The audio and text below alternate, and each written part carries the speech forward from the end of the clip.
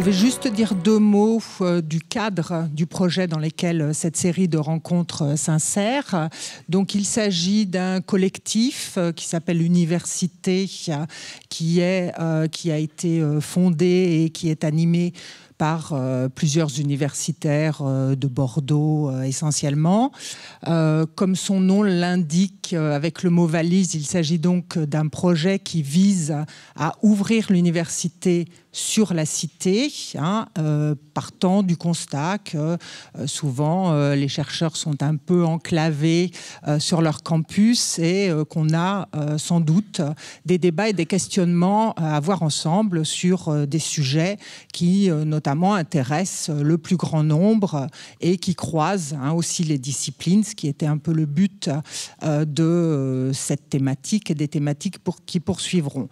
le collectif université va donc chaque année proposer un thème différent. Le thème de cette année, c'est donc humanisme, transhumanisme, post-humaniste, avec une réflexion centrale autour de la définition et du devenir de l'humain à travers ces trois notions. C'est conçu en trois volets, hein, trois rencontres. La première a eu lieu le 14 février et a euh, mis euh, en rapport euh, cinq chercheurs de disciplines différentes. Ce soir, donc, on a un débat vraiment sur le point central du transhumanisme entre deux philosophes et donc comme invité principal Jean-Michel Beignet, spécialiste de cette question. Et puis euh, la prochaine fois, hein, on aura donc, ça sera le 4 avril, que vous pouvez noter hein, tout de suite, pareil, euh, même horaire, même salle. Ce sera euh, une lecture par un comédien et des commentaires par des universitaires de textes pris à l'humanisme au sens plus classique du terme, donc de la Renaissance jusqu'à d'Alembert, et lecture et commentaire d'un texte du post-humanisme hein, euh, tout à fait contemporain. Euh, je vais donc laisser la parole euh, aux intervenants. je donne la parole donc d'abord à nos deux modérateurs de la séance, donc Arthur Raffier, qui est à ma droite, et Chloé Damaret, qui sont des étudiants dans le master médiation des sciences de l'Université de Bordeaux-Montaigne et qui par ailleurs sont les vice-présidents d'une association très active en médiation des sciences qui s'appelle Dealers de sciences et qui sont donc tout indiqués pour faire cette modération. Merci. Merci. Merci. Alors, euh, bonsoir à toutes et à tous. Nous sommes ravis de vous accueillir euh, ce soir pour cette rencontre. Nous tenons également à remercier Aurélia Gaillard, du coup, qui nous offre euh, cette opportunité d'animer ce débat. Euh, le collectif Université souhaite ouvrir effectivement des réflexions universitaires à la cité et c'est ainsi avec joie que nous nous retrouvons ici. Nous allons parler euh, de sujets de science et de société qui nous questionnent toutes et tous. Les sciences et technologies sont en train de transformer l'humain. Le transhumanisme, c'est un courant de pensée se structurant dans les années 90. Il s'intéresse à la transition de l'être humain, l'augmentation de ses possibilités, capacités physiques, intellectuelles via l'utilisation des technologies. L'espèce humaine est en train de s'ouvrir à un monde du non-humain, à des individus mêlant biologie et technosciences. On va pouvoir peut-être parler clones, cyborgs, robots. Alors, comment vont pouvoir s'articuler l'être humain naturel et l'être humain augmenté? Est-ce qu'une nouvelle définition de l'humain voit-elle le jour avec le développement du transhumanisme? Pour disséquer ce sujet, nous avons fait appel à Jean-Michel Beignet, philosophe et professeur à l'Université Paris-Sorbonne. Il est auteur notamment du livre Demain les post-humains et tout récemment co-auteur du livre Les robots font-ils l'amour Le transhumanisme en 12 questions. Avec lui, nous avons également Cédric Brun, philosophe et maître de conférence à l'Université Bordeaux-Montaigne. Il est spécialiste de la philosophie des sciences cognitives. Comme lors de la précédente conférence, les règles du jeu restent inchangées. D'abord, M. Beignet et M. Brun présenteront en une dizaine de minutes chacun leurs positions respectives sur le sujet. Nous nous concentrerons sur, ces deux cas, sur deux cas concrets qui donneront lieu à une discussion à laquelle nous vous inviterons par la suite à prendre part. Messieurs, si vous voulez commencer. Eh bien, merci. Tu commences ou Vas-y, vas-y. Bon. Eh bien, écoutez, je vais commencer. Bonsoir. Merci d'être, d'être nombreux euh, à venir nous, nous écouter, peut-être euh, répercuter les élucubrations des transhumanistes. Euh, non, je crois, pour ma part, qu'il faut, il faut prendre au sérieux ce, ce mouvement qui se développe aujourd'hui. Euh, je suis ces gens-là depuis une dizaine d'années et euh, il, y a, dix ans, lorsque j'ai publié Demain les postes humains, euh, le thème était vraiment très très marginal. Au sein de l'université, on, on, trouvait extrêmement étrange qu'un professeur de philosophie perde son temps à jauger, commenter, gloser les prophéties qui se tiennent du côté de ces transhumanistes. Et puis, bah, en, à peine cinq ou six ans, euh, on s'aperçoit que ces transhumanistes ont de plus en plus pignon sur rue, pignon sur revue. Euh, ils font la une de, de, de nombreux magazines. Euh, certains de leurs thèmes deviennent des thèmes presque, presque communs. Hein, euh, maintenant, on, parlera volontiers de l'humain augmenté dans le, les milieux médicaux, sans, sans, se, sans s'aviser de, ce que peut avoir d'incongru l'expression. Et puis, bah, on, on, nous a tous annoncé que nous serions bientôt immortels, et l'immortalité est devenue là aussi euh, presque un thème banal, euh, dont on tourne un peu autour euh, évidemment de l'interprétation qu'on donne de cette immortalité. Mais enfin, euh, euh, voilà, les, transhumanistes ont pénétré de plus en plus dans l'esprit des, des, habitants des sociétés technologisées. Alors bon, je ne dois pas parler longtemps puisque l'essentiel de cette manifestation doit être interactif, mais je dirais trois choses, trois ou quatre choses si vous voulez à propos des transhumanistes. Je dirais d'abord que euh, ce, ces courants d'opinion euh, qui sont nés dans les années effectivement 1990, euh, essentiellement autour de, des grandes technopoles euh, californiennes, la Silicon Valley, euh, les gens qui se retrouvent dans ces courants ont des points communs. Euh, et ces points communs peuvent peut-être permettre de mieux cerner l'ensemble du mouvement.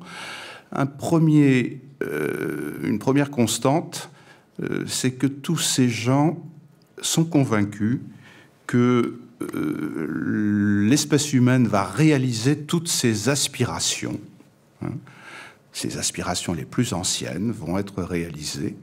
Et ils sont convaincus que longtemps on a cru que c'était la politique ou la religion qui allait réaliser l'humanité, eh bien aujourd'hui, ces gens disent non, ça n'est pas la politique, ça n'est pas la religion, ce sont les sciences et les technologies qui vont nous octroyer ce dont nous rêvons depuis toujours. Donc on est dans un courant où on a déplacé euh, en quelque sorte la focale des idéaux hein, et euh, euh, on confie aux sciences et aux technologies hein, le soin de répondre à nos désirs les plus profonds. Alors c'est pas complètement nouveau. Hein, euh, quand on lit Condorcet au lendemain de la Révolution française, il écrit euh, un texte important dans lequel il relate les différentes les différents épisodes de, du progrès de l'esprit humain, comme il le dit, et il dit bien, au lendemain de la Révolution française, il dit c'est pas c'est pas pas les, les sans culottes qui ont fait la Révolution française, c'est Descartes, c'est Descartes, euh, Galilée, ce sont les hommes de science euh, du XVIIe siècle qui ont mis l'humanité sur les, rails qui vont la conduire, euh, bah, oui, au bonheur, tout simplement. Donc, c'est pas très très nouveau de dire que les sciences et les technologies vont réaliser les aspirations du genre humain. Euh, cela étant, et ça on en discutera sans doute euh, tout à l'heure, hein, ce que je soutiendrai pour ma part, c'est que les transhumanistes ne sont pas des progressistes à la manière euh, des, idéologues du siècle des Lumières. Hein. Ce ne sont pas des progressistes, ce sont des adeptes de la rupture. Ce qu'ils veulent, c'est non pas favoriser les progrès scientifiques et techniques, mais ce qu'ils veulent, c'est produire une rupture. Et une rupture qu'ils appellent quelquefois la singularité. Hein, le terme est, très, très évocateur pour qui connaît un petit peu les mathématiques et la physique. Hein. en mathématiques et en physique, la singularité désigne toujours une rupture, une rupture dans un continuum. Et c'est ça qu'ils attendent. Donc, euh, ne nous empressons pas de dire que ces transhumanistes sont dans la veine des idéaux des Lumières. Ça n'est pas vrai. Hein. Ils tournent le dos même au progrès. Ils sont pour euh, la rupture. Alors, c'est le moment de dire une deuxième chose. Euh, de quoi héritent ces transhumanistes? Bah, Il y a au moins deux héritages. Il y en a un qui est assez immédiat, il y en a un autre qui est beaucoup moins évident, euh, que je m'efforce de travailler en ce moment euh, de manière un peu solitaire et euh, dont je vais simplement vous, vous, suggérer ce qu'il est. Les, premiers héritiers qu'on peut repérer derrière ces transhumanistes, je dirais que ce sont les gens qui ont fait la contre-culture américaine. Les mouvements hippies, par exemple. Euh, cette contre-culture américaine, les plus, les, plus vieux d'entre nous se souviennent, s'ils ont connu les, les mouvements 68, les beatniks, enfin, etc., tous ces, l'âge d'or des Ferlinghetti, des Kerouac, etc. Euh, ces gens, ces jeunes, hein, ces jeunes voulaient en finir avec le monde tel qu'il était, le monde de la consommation, le monde de la guerre du Vietnam, le monde de la bombe atomique. Ils voulaient en finir et ils en appelaient à une révolution, mais pas une révolution politique, une révolution spirituelle. L'un des grands apôtres de cette époque-là, c'est Timothy Leary, hein, le chantre du LSD, hein, celui qui disait qu'avec le LSD, on allait pouvoir changer son regard sur le monde. Et changer son regard sur le monde, c'était déjà opérer une révolution. Et ce Timothy Leary, euh, lorsqu'il a découvert l'informatique, cette informatique qui commençait à se développer sous, sous l'angle de l'informatique personnelle, le PC, il s'est dit, mais c'est pas la peine d'aller chercher le LSD. Avec l'informatique, on peut faire tout cela. On peut lutter contre le, pouvoir central. On peut euh, planer d'une façon ou d'une autre. On peut s'arracher par conséquent aux pesanteurs du monde contemporain et euh, s'éclater. Et euh, ces gens euh, qui ont suivi ces courants de la, contre-culture américaine sont les véritables fondateurs de la culture numérique qui est la nôtre aujourd'hui.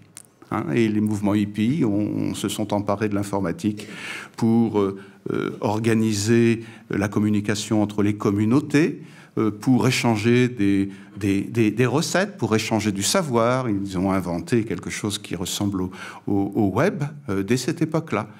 En tout cas, l'informatique, les technologies donc de cette époque-là, ont été associées à une révolution, une révolution qui nous faisait tourner le dos au monde tel qu'il était pour aspirer à quelque chose d'autre. Je crois que c'est très important. Euh, toute l'histoire de la culture du numérique, elle est euh, fondée sur cette filiation-là. Ce qui s'est passé simplement, c'est que les grandes méga-machines, les GAFA, comme on dit aujourd'hui, Google, Amazon, Facebook, euh, Apple, ont détourné cette ligne d'inspiration pour faire avec la culture du numérique ce que vous savez et ce que nous, nous vivons au quotidien. Donc, très important de bien voir, la révolution, elle n'est pas politique, elle n'est pas religieuse, elle n'est pas euh, dans, la, lignée de, ce que notre monde nous propose, elle doit nous propulser ailleurs. La deuxième euh, filiation, beaucoup plus euh, ténébreuse, celle-là, que, que j'identifie, moi, derrière les mouvements transhumanistes, c'est la gnose. La gnose, vous êtes sans doute peu nombreux à savoir de quoi il retourne lorsqu'on parle de gnose, mais la gnose, ça désigne une hérésie des premiers siècles de la chrétienté. Une hérésie euh, qui a eu la, peau dure, hein, euh, qui, a, qui est apparu, oui, dans les premiers siècles de la chrétienté. On trouvait déjà des, des anticipations dans la Haute Égypte, mais peu importe. La gnose, ça désigne une spiritualité qui réunissait des gens qui avaient en commun de considérer que Dieu avait raté la création. Que Dieu avait raté la création parce qu'au moment où il a créé le monde, eh bien, il a été assailli par des forces maléfiques et ces forces maléfiques l'ont conduit à, bâcler son travail. Et euh, c'est la raison pour laquelle vous êtes dans cet état, et moi aussi, c'est-à-dire des, êtres fragiles, des êtres souffrants, des êtres euh, maladifs, des êtres vieillissants et des êtres mortels. Et les gens qui se reconnaissent dans la gnose ont tous en commun de considérer que, avec le savoir, la gnose, avec le savoir, on doit pouvoir rectifier le tir et parachever le travail que Dieu a laissé en plan. Et ces courants euh, euh, gnostiques ont été extrêmement insistants dans toute la, dans, toute la culture occidentale. Et euh, certains transhumanistes n'hésitent pas aujourd'hui à se réclamer de ces courants gnostiques en disant, ben voilà, avec les sciences et les techniques, on va rectifier, rectifier donc tout ce qu'il y a de, de fragile, de vulnérable dans l'humanité, et on va réaliser une nature absolument parfaite. Donc il y a quelque chose de cette spiritualité-là chez les transhumanistes. Dernière chose peut-être, ou avant-dernière chose, mais je vais aller vite, euh, ces courants transhumanistes, on ne peut pas ignorer qu'ils sont politiquement, économiquement marqués dans nos sociétés. Ce serait aberrant de le passer sous silence. Et j'ai évoqué tout à l'heure les GAFA, hein, pour dire que ces méga machines hein, euh, se sont emparées euh, de, de l'inspiration euh, quasi métaphysique des, adeptes premiers du numérique hein, pour faire de tout cela bon, un, business considérable. Ben oui, les transhumanistes, ils se reconnaissent souvent au fait qu'ils sont ultralibéraux, ils sont dans, un libéralisme exacerbé aujourd'hui, et ils sont même euh, souvent libertariens. Un libertarien, ça veut dire qu'ils euh, veulent qu'on minimise de plus en plus la part des États hein, pour euh, déborder précisément les, gouvernances nationales enfermées dans des frontières, hein, et ils rêvent d'une société, c'est beaucoup dire, plutôt d'individus hein, qui pourraient être déliés de toutes les contraintes, euh, disons, euh, économiques et sociales, et euh, il rêve de promouvoir une figure de l'individualisme exacerbé, parce que les sciences et les techniques, elles vont concerner avant tout les individus et, peu les groupes sociaux. Il n'y a jamais qu'en France où il y a une association française du transhumanisme qui, elle, milite pour que les technologies puissent servir la cause de l'égalisation des conditions, l'égalité par conséquent. Hein, mais euh, ces transhumanistes français sont très très euh, marginaux. dernier mot que je dirais, je considère que ce qu'ont en commun les transhumanistes, c'est que ce sont des dépressifs. Ils sont éminemment dépressifs, ils n'aiment pas l'humain. Ils n'aiment pas la fragilité humaine. Ils n'aiment pas qu'on naisse comme ça par hasard. Ils veulent qu'on fabrique l'humain. Ils n'aiment pas, évidemment, que, que, nous soyons des, des, êtres malades et ils s'imaginent pouvoir mettre en œuvre tous les instruments susceptibles de réparer l'humain. Ils n'aiment pas que nous soyons des êtres vieillissants et ils veulent supprimer évidemment le, vieillissement, pas simplement les manifestations du vieillissement, mais également les mécanismes du vieillissement. Et puis ils n'aiment pas que nous soyons des êtres mortels, puisqu'ils veulent nous rendre immortels. Donc en gros, je considère qu'ils ont tous en commun cette espèce de dépression fondamentale qui se manifeste par une fatigue d'être soi et par une désaffection complète pour euh, les valeurs de, de l'humain. Voilà, c'est peut-être de tout cela que nous discuterons tout à l'heure. Monsieur Brun. Merci. Alors, à, la différence de, Jean-Michel, j'ai peu travaillé sur le transhumanisme. Ma spécialité, c'est la philosophie des sciences, et donc c'est plutôt par ce biais-là que je suis rentré en contact avec les travaux transhumaniste. Et la première chose, moi, qui m'a frappé et qui continue à me frapper, c'est le hiatus qu'il y a entre un discours. Vous excuserez ma voix, je suis presque à faune, donc je vais essayer de la préserver. le hiatus qu'il y a entre un discours fondé sur une promesse scientiste très marqué, qu'a rappelé, rappelé Jean-Michel à l'instant, euh, de réalisation, euh, de transformation euh, de l'humain et de réalisation effectivement de toutes ces aspirations à l'idéalisation des capacités ou l'augmentation des capacités humaines individuelles, au détriment peut-être effectivement d'une pensée du, collectif, de la société, d'une certaine forme, alors j'aime pas trop l'expression, mais de vivre ensemble, puisque c'est un peu à la mode, mais sacrifions à la mode. Euh, l'idée étant que euh, nous aurions une nature non seulement perfectible, mais dont la définition même serait d'être dans le perfectionnement permanent. Et donc, la réalisation de cette, perfectibilité pardon, passerait par euh, les sciences et techniques. Et une des difficultés immédiates que l'on rencontre lorsque on, est, on est comme je le suis, attentif aux contraintes épistémologiques euh, qui pèse sur la construction des savoirs scientifiques, c'est précisément le fait que euh, la plupart des promesses sont extrêmement difficiles à tenir, non seulement immédiatement, mais même à moyen, voire long terme. Ce qui n'empêche pas, et c'est là où je rejoins euh, Jean-Michel, qu'il faille avoir à l'égard des discours transhumanistes un regard extrêmement sérieux et les prendre au sérieux. Parce que quand on fait ce genre de promesses-là, quand on utilise ce genre de, prophéties qui peuvent devenir autoréalisatrices, euh, il est nécessaire d'avoir effectivement un certain regard euh, sur elles, critique, pour essayer d'anticiper, sinon les difficultés posées, du moins essayer de mettre en évidence les mécanismes internes au discours qui viennent euh, promouvoir finalement un projet social auquel on est convié d'une certaine manière euh, d'acquiescer presque naturellement, précisément au nom de la perfectibilité de notre nature. C'est-à-dire que parce que c'est dans notre nature de nous perfectionner, il faudrait que euh, nous soyons immédiatement enthousiastes à l'égard de ce perfectionnement. Je crois que c'est très important de maintenir une distance critique à l'égard de ce regard, à l'égard pardon de ce, discours.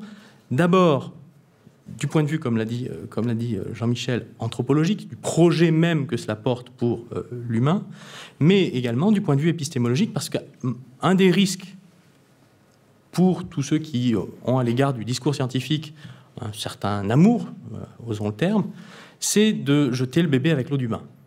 C'est-à-dire que précisément parce qu'ils utilisent et instrumentalisent un certain type de discours scientifique, il ne faudrait pas jeter avec le transhumanisme, les outils qu'il se propose d'utiliser pour, pour, ce projet de perfectibilité. Donc, euh, à mon sens, c'est vraiment dans ce premier sens-là que euh, j'entre euh, dans, dans, le transhumanisme. Et petit à petit, en découvrant les textes d'un certain nombre de transhumanistes, et aussi en ayant un, regard sur ce que Jean-Michel a rappelé, c'est-à-dire les liens très forts qu'il y a entre euh, ces deux sources, alors l'agnos, c'est vraiment euh, Jean-Michel qui a attiré l'attention le premier, à, ma connaissance, sur cette, filiation-là, euh, et la filiation, effectivement, de la contre-culture américaine qui est un, peu plus évidente et qui a été beaucoup plus travaillée, y compris aux États-Unis. Il y a une tension intrinsèque entre ces deux sources qui se révèle dans la transformation progressive du projet politique et idéologique qui est portée par le transhumanisme. Et c'est euh, ce point-là qui m'intéresse, parce que au fond, tout le monde voit bien que la contre-culture américaine s'est fondée sur euh, un projet de réalisation individuelle. Chacun doit se libérer des pressions sociales de cette euh, société pesante, structurée par des rapports de pouvoir qu'il s'agit de mettre en, question, qu'il s'agit de critiquer et contre lesquels il s'agit de mener une révolution, mais qui est essentiellement individuelle et individualiste. C'est la réalisation de nos, euh, de nos euh, aspirations personnelles qu'il s'agit de mettre en, œuvre. Euh, ça passe effectivement par une révolution spirituelle, ça passe éventuellement par la construction de réflexions collectives et de mouvements collectifs. On l'a vu historiquement dans les années 60, les mouvements pour les droits civiques, 68, Jean-Michel l'a rappelé, etc. Bon, aucun problème là-dessus.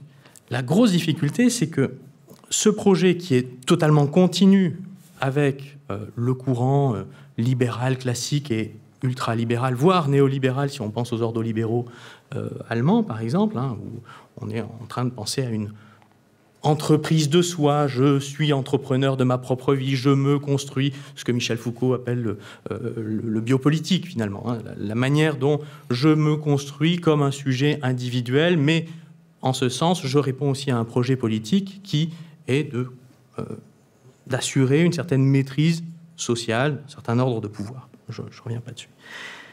Ce qui m'intéresse, c'est que dans le même temps, euh, ce discours transhumaniste conduit à un effacement de l'individu.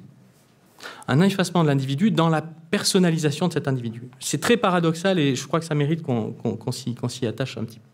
Pensez par exemple à la promesse de médecine personnalisée. Qu'est-ce que c'est que cette médecine personnalisée? Ça veut dire que on va en fonction de vos propriétés génétiques, propres, euh, vraiment dans tout ce qu'elles ont de plus intime, dans votre mode de vie, identifier les facteurs, les causalités, les chaînes causales qui euh, expliquent et donc permettent éventuellement d'agir sur les pathologies qui vous atteignent. Et donc, votre traitement Monsieur X ne sera pas le traitement de Madame Y, puisqu'il sera déterminé de manière, de manière totalement personnelle. Mais pour parvenir à ça, qu'est-ce qu'on a besoin de développer? On a besoin de développer des outils qui vont dépersonnaliser complètement, c'est-à-dire qui vont construire des modèles algorithmiques qui vont identifier chez chacun d'entre vous les différentes variables qui vous construisent non pas comme un individu singulier, mais comme un ensemble de variables qui sont toutes identiques chez chacun d'entre nous. Et vous entrez finalement dans une énorme machine à analyser des comportements, à analyser des données génétiques, à analyser des données euh, éventuellement environnementales, de, vos rapports complexes entre vous, individu, et votre environnement. Pensez à la manière dont, euh, puisqu'on parlait des GAFA, Facebook cible ou euh, Amazon cible la publicité qu'ils vous livrent lorsque vous êtes en train de surfer sur, sur leur site. Finalement, cette personnalisation de la publicité, c'est exactement le pendant de cette médecine personnalisée, de cette réalisation individuelle parfaite. Mais en même temps, elle est totalement désincarnée. C'est un individu qui n'a plus rien de réellement euh, structurant du point de vue d'un projet personnel, d'un projet individuel que l'on porterait, d'aspiration qui serait liée à une, idée, à une histoire personnelle. Autrement dit, il y a là une tension qui me semble vraiment très importante à, creuser, qui est cette tension entre, d'un côté, un projet qui est parfaitement structuré comme une continuation et peut-être une rupture, c'est peut-être là où nous nous distinguons un petit peu avec Jean-Michel, euh, du projet libéral, classique et euh, ultralibéral dont, dont on a parlé tout à l'heure, qui trouve une de ses formes dans la contre-culture américaine. On va pousser cette personnalisation, cette individualisation à son extrémité. Mais ce faisant, les outils qu'on utilise conduisent à dissoudre en même temps cette individualité dans un tout indistinct. Et nous ne devenons plus intéressants en tant que personne, mais en tant que nous participons à un marché global sur lequel vous êtes une variable parmi des milliards d'autres. En ce sens, la réalisation de ce projet euh, transhumaniste euh, d'amélioration, d'augmentation. Alors, amélioration, j'utiliserai le terme avec beaucoup de précaution. Je préfère euh, le terme d'augmentation parce que est-ce que toute augmentation est une amélioration? Ça demanderait à être justifié. Mais en tout cas, d'augmentation de nos capacités, euh, de réalisation euh, de nos aspirations par les sciences et techniques, conduit à la dissolution de l'individu, cet individu moderne, ce sujet moderne, depuis Descartes jusqu'à euh, Adam Smith, d'une certaine manière, qui fonde, d'une certaine manière, nos, nos sociétés. En ce sens, le projet politique demande à être interrogé, non seulement eu égard au cadre de pensée que nous avons eu, que nous avons développé depuis euh, euh, la période moderne, mais sans doute demande de repenser ces cadres d'une manière différente. Pensez par exemple à la manière dont des outils techniques qui nous servent par exemple à mesurer ou déterminer euh, les consommations électriques euh, euh, de fluides dans, nos, grands, bâtiments collectifs comme une université, une entreprise, etc., sont à la fois des outils fantastiques pour lutter contre la surconsommation et faire du mieux-disant environnemental, et en même temps des outils de contrôle sur nos présences dans ces locaux, sur nos pratiques dans ces, locaux, puisqu'on sait à chaque instant qui fait quoi sur le réseau interne de euh, l'entreprise, qui euh, est présent dans, et combien nous sommes présents dans une pièce, puisqu'on peut corréler le nombre de, personnes présentes dans cette pièce avec, par exemple, le taux de CO2 euh, rejeté dans, dans cette air. Donc, dans ce cadre-là, nous devenons simplement des variables qui servent à gérer des flux, et en tant qu'individu, notre réalisation devient totalement secondaire.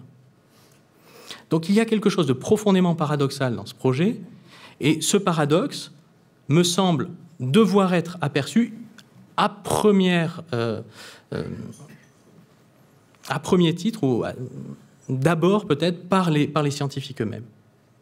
Je crois que les scientifiques ont aujourd'hui une, une, responsabilité historique dans euh, leur rapport à ce, cette utilisation de leurs travaux, qu'ils soient fondamentaux, qu'ils soient plus appliqués, techniques, etc. Euh, c'est quelque chose qui a été travaillé, par exemple, par des personnes comme Anders ou, Jonas au, sujet du rapport à l'environnement et au sujet euh, du rapport à la, au nucléaire, à la bombe, euh, notamment à la bombe A.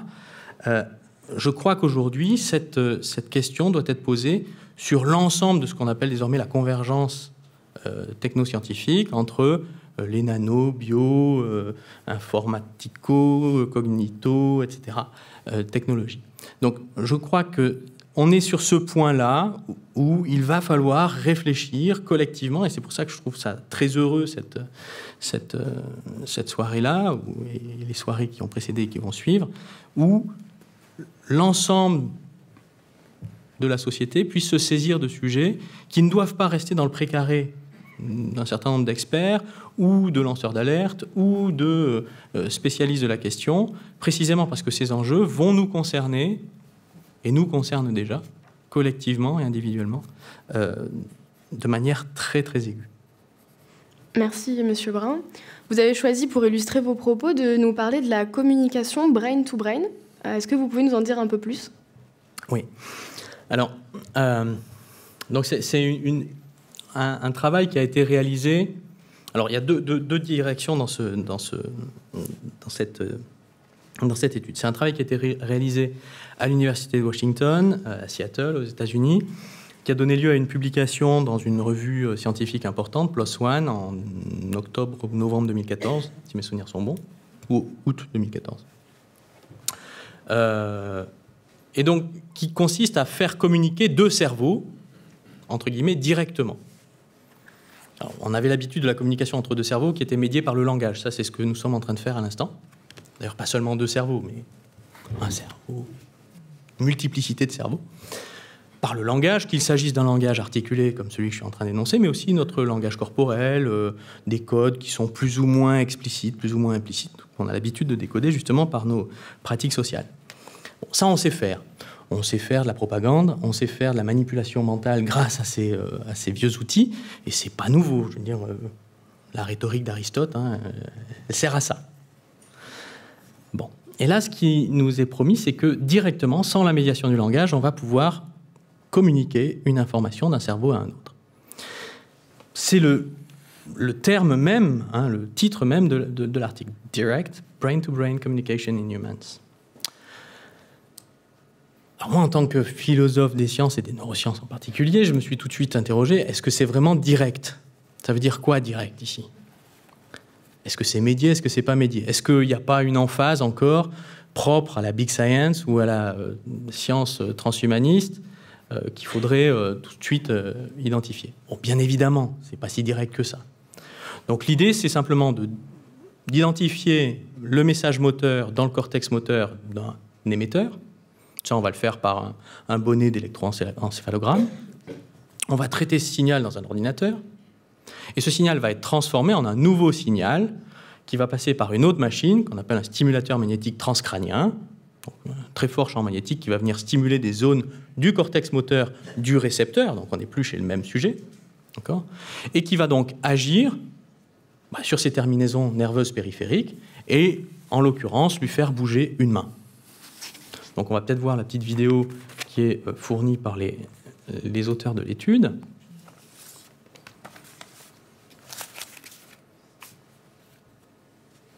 Donc voilà le motif général. Donc en haut à gauche, vous avez le bonnet électroencéphalogramme, en bas à droite, le euh, stimulateur transcranien. Et là, voilà le jeu qui sert à ça. Donc vous avez l'émetteur qui voit une image. Est-ce qu'on peut geler deux secondes la hmm. vidéo? Ça peut. Merci. Euh, donc l'émetteur voit l'image, le récepteur ne la voit pas. Alors au hasard, hein, il s'agit d'un missile qui menace une ville. Au hasard. Euh, et donc l'émetteur doit penser ou réaliser mentalement, c'est pas très clair, euh, le mouvement d'appuyer sur une barre espace d'ordinateur hein, pour envoyer un anti-missile qui va venir détruire le missile et ainsi protéger la ville. Mais bien sûr, il n'a pas d'ordinateur devant lui, l'ordinateur est devant le récepteur. Donc tout le monde me suit euh, Et donc, par le truchement de cette ce mécanisme, bien heureusement, le récepteur va pouvoir sauver le monde.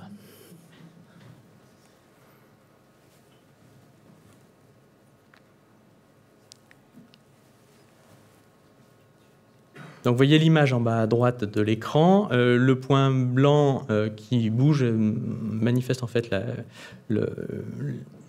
l'envoi du, du, message moteur. Donc quand le point blanc se trouve au centre du point bleu, ça signifie qu'il déclenche euh, le mouvement d'appui sur la barre espace en question. Toc. Yes. Success. Success. Et donc maintenant on voit le récepteur. Donc le récepteur ne voit pas l'image puisqu'elle est placée derrière lui, mais il a une barre espace sous ses doigts et il est mu. D'accord? Il est mu par l'émetteur.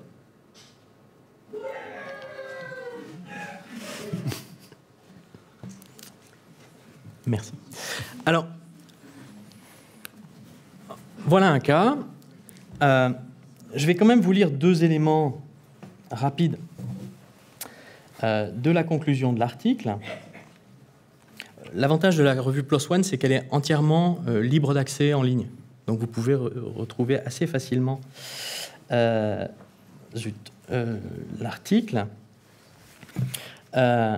Donc dans l'introduction, les auteurs expliquent le cadre dans lequel ils réfléchissent et ils disent ce serait quand même fantastique si on pouvait communiquer en se passant du langage. Parce que grâce à ça, on pourrait communiquer des choses qu'on ne sait pas communiquer. Je ne peux pas vous communiquer, si je suis un violoniste par exemple, le bon emplacement des doigts sur mon violon pour jouer un morceau de violon. Mais si je pouvais vous le transférer directement de mon cerveau à votre cerveau, ce serait fantastique. Si je suis un chirurgien expérimenté et que je peux transférer comme ça un message moteur directement dans votre cerveau et donc renforcer par ce transfert votre apprentissage de jeune chirurgien, vous apprendriez beaucoup plus vite la chirurgie. Euh, bien, alors, je passe bien sûr sur les, les promesses de transmission de concepts ou d'émotions, puisqu'ils vont jusque-là. Tout de suite, quand on connaît un petit peu le champ, on dit non, mais il y a une grande différence quand même entre identifier un message moteur cérébral et un concept. C'est-à-dire qu'on ne sait pas comment les concepts sont euh, construits euh, du point de vue neurobiologique. On a des idées, on a des hypothèses, des grandes catégories, mais on ne sait pas comment ça marche. Donc avant de savoir comment on va le transférer, ce serait peut-être pas idiot de savoir comment ça fonctionne réellement. Mais ici, euh, l'idée va beaucoup plus loin puisqu'ils disent ce qui serait fantastique, c'est que, ce qui est fantastique dans cette étude, nous disent leurs auteurs, c'est que demain, cette technologie va nous permettre de transférer une information d'un cerveau vers une multitude de cerveaux on va enfin pouvoir vous enseigner des choses collectivement, directement, d'un cerveau à un autre. Alors, on est dans l'emphase, on est dans euh, l'emphase propre à la big science, on est d'accord. Mais qu'est-ce que ça signifie du point de vue du projet anthropologique derrière Qu'est-ce que ça signifie du point de vue du projet idéologique? Comment on évalue la mise en œuvre d'un tel projet du point de vue simplement démocratique? On est encore dans des sociétés ouvertes. On pourrait peut-être se déterminer librement en tant qu'individu, en tant que citoyen, sur la mise en œuvre de ces projets. Remarquez comment ces projets de recherche, là ici je fais, on pourrait faire référence à Lakatosh, on pourrait faire référence à Feyerabend, à toute cette tradition euh, de, philosophie des sciences qui pose la question de la légitimation euh, épistémique et euh, politique des projets de recherche scientifique. Qui légitime ce projet de recherche? Est-ce que c'est en notre nom qu'on fait ça? Donc, je, pose des questions, pour l'instant je ne veux pas y répondre parce que je pense que c'est important qu'on ouvre le débat là-dessus. Allez-y. Oui, moi j'apporterai volontiers un commentaire maintenant à, cette, euh, à, l'exposé de cette euh, prouesse euh, neuroscientifique, hein, donc communication de cerveau à cerveau. Je reprendrai ce que disait Cédric. Il y a effectivement derrière, là derrière, une, une espèce d'offensive euh, contre l'humain, contre, contre l'homme, puisque Cédric l'a bien dit, ce qu'il y a là derrière, c'est une méfiance euh, à l'égard du langage. Euh, l'un des, des transhumanistes qui est à la clé de ces réalisations-là ou de ces préconisations-là s'appelle Kevin Warwick. Hein, c'est un cybernéticien qui travaille au Royaume-Uni. Il est très connu, euh, quand vous, tapez son nom sur Internet, vous avez immédiatement des, sites qui le présentent comme le premier cyborg au monde. Hein, ce, monsieur s'appelle, enfin, se désigne lui-même comme le premier cyborg au monde, et il est connu pour se mettre régulièrement des puces euh, sous la peau, hein, euh, donc avec des, émetteurs, hein, des émetteurs récepteurs d'ondes électromagnétiques et ces puces lui permettent euh, effectivement de contrôler son environnement. Alors on le voit souvent dans des films traverser euh, les couloirs de, de, l'établissement de recherche dans lequel il travaille et on voit les portes s'ouvrent, les fenêtres, euh, les volets se, lèvent. Enfin bon, tout, tout fonctionne autour de lui de manière automatique et il, est, il a l'air parfaitement content. Hein. Ça lui plaît énormément. Donc, il a le sentiment d'avoir une maîtrise considérable sur les, sur les, sur les choses et, sur les lieux. Hein. et il est cyborg. Ben, pourquoi? Parce que dans son organisme, org, hein, il a euh, intégré de la cybernétique. donc, euh, il est bel et bien le résultat d'un couplage de, de machines, d'artefacts et de, et de biologie. Et cet homme, vous l'entendez quelquefois tenir un propos euh, assez intéressant. Il vous dit par exemple, je suis persuadé que tous les mots de l'humanité tiennent au fait que nous parlons. Le langage est à la source de tous nos mots.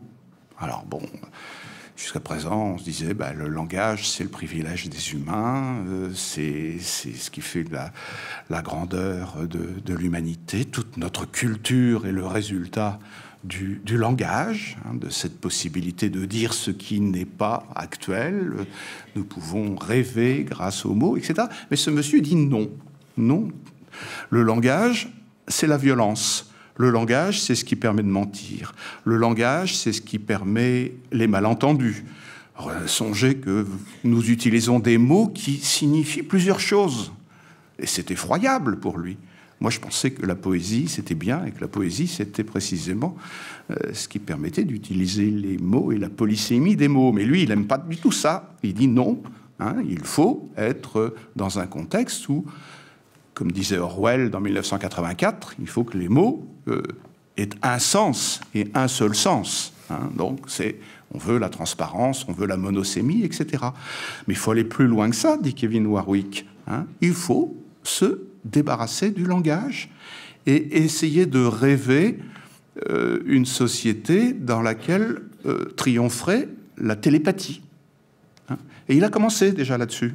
donc, il a il a, il a déjà mis des, des, puces électroniques dans le cerveau de sa femme, hein, et il en a lui-même, hein, et euh, il s'exerce à euh, penser, penser des choses hein, qui vont se traduire en, en circuit euh, neuronal, synaptique, et ces, choses devraient transiter via des ondes électromagnétiques jusqu'au cerveau de sa femme, hein, et sa femme doit recevoir les, ordres et les injonctions euh, euh, traduites par ses circuits neuronaux. Donc il lui suffit, euh, il ne va pas dire chérie, passe-moi le sel, hein, il va penser très fort, chérie, passe-moi le sel, et comme dans le film là, ça, ça va se, se, transférer dans le cerveau de sa femme qui obéira hein, à, l'injonction, enfin peut-être, euh, en tout cas. Il n'y a pas lieu de discuter puisqu'il n'y a plus de mots, il n'y a plus de langage. On n'est pas dans un, on est, on est dans un monde où il n'y a plus de signes, il n'y a plus que des signaux, hein, des signaux. Et les signaux, ils appellent des réactions comportementales. Hein, on est dans un monde de l'injonction et non plus dans un monde de la discussion ou de la délibération.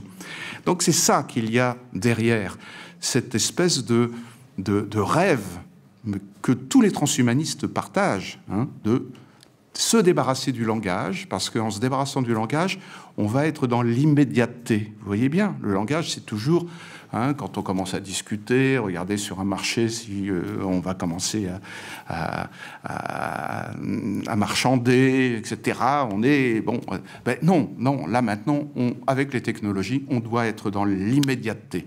Hein, dans la, dans, dans, la réactivité, hein, euh, on doit être dans le temps réel. Bon, c'est tout ça qu'il y a derrière euh, ce, fantasme transhumaniste. Et dans l'agenda des transhumanistes, il y a effectivement comme euh, nerf central du, du, bonheur supposé des humains hein, la réalisation de la communication cerveau à cerveau, comme il y a euh, le rêve de la, pensée intégrale, comme ils appellent. C'est le jour où on pourra vous mettre euh, Internet directement dans le cerveau. Hein. Il quittera votre, votre euh, smartphone hein, et il se présentera sous la forme d'un implant intracérébral que vous aurez directement dans votre cerveau. Et là aussi, vous serez dans une situation où vous aurez réalisé l'immédiateté. On aura supprimé la médiation, Hein, déjà la petite médiation qui est déjà limitée euh, lorsqu'on est addict à son smartphone, hein, mais là, euh, vous serez dans l'immédiation.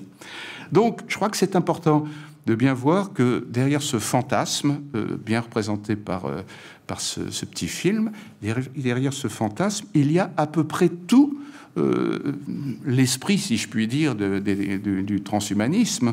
il y a cette volonté de maîtrise absolue, puisque là, euh, ce petit film que vous avez vu, vous avez vu qu'il y avait aussi l'ambition euh, de commander euh, la volonté à distance. Hein, là, il s'agit bien pour un individu de prendre le pouvoir sur le cerveau d'un autre individu hein, et de lui imposer par conséquent un geste.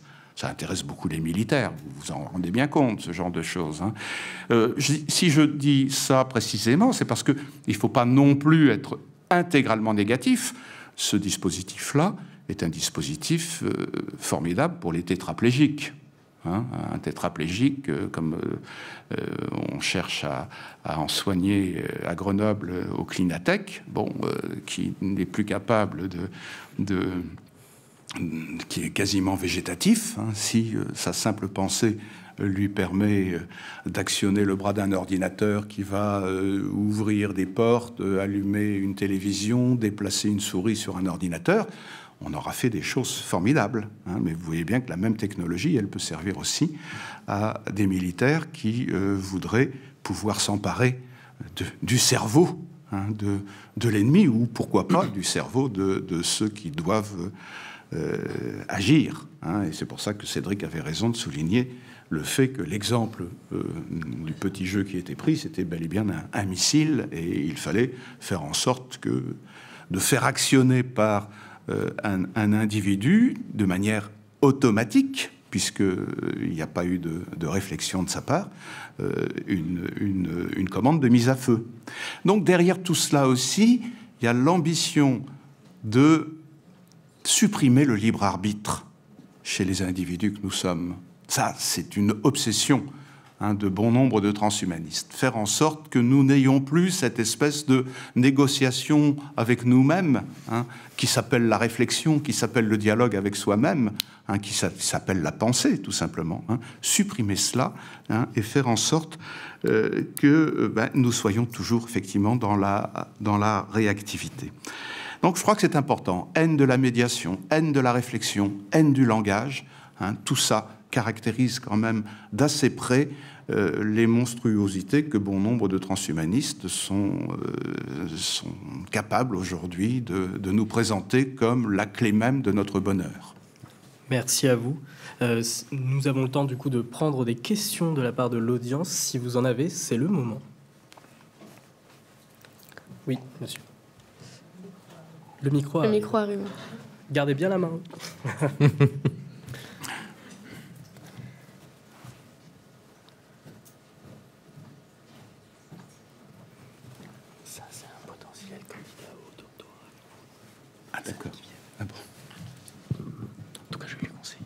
Très bien, merci. Euh, alors, une question. Euh, poser, euh, poser la question du rapport anthropologique de l'homme avec ses créations et éventuellement ses créatures. dans le terme de, cette hybridation homme-machine, ça me semble être une impasse. Vous l'avez précisé dans l'un de vos ouvrages, la technique, c'est à la fois un pharmacone, un remède et un poison. Donc du coup, accepter la question telle que nous la présentent les transhumanistes, est-ce que c'est pas euh, convenir d'emblée euh, d'une certaine impasse qui nous, confine à un nouveau manichéisme entre technophiles et technophobes? Est-ce que toutes les questions euh, que soulève le transhumanisme, en fait, ne sont pas des périls rhétoriques, des impasses justement de la réflexion et de la médiation, et qui laissent le champ au transhumanisme un champ de conquête idéologique? C'est une question difficile que vous formulez là, euh, mais bon, que je vais essayer peut-être de, traduire dans, mon, lexique. Au fond, euh, euh, si on était très charitable avec les transhumanistes, hein, on pourrait dire que ces gens-là, ils sont pleins de bonnes intentions. Ils ont, envie que nous soyons capables de maîtriser notre environnement, de lutter contre ben, la, paralysie du tétraplégique, etc. Donc euh, l'hybridation qu'ils ambitionnent est destinée effectivement à nous apporter euh, l'aide que nous pouvons souhaiter. Et et de ce point de vue-là, ils ont raison. Enfin, l'humain augmenté, ça commence avec le porteur de pacemaker. Bon, et c'est formidable, un pacemaker, paraît-il. J'en suis convaincu. Hein. Bon, et, donc, l'hybridation, c'est-à-dire l'hybridation entre l'artifice, hein, euh, le, dispositif euh, du pacemaker, et puis l'organisme, euh, elle, part du meilleur sentiment qui soit. Mais on voit bien que on est dans une conjoncture où on veut aller bien plus loin que dans la réalisation d'un équilibre entre la, technique et, la nature. Hein.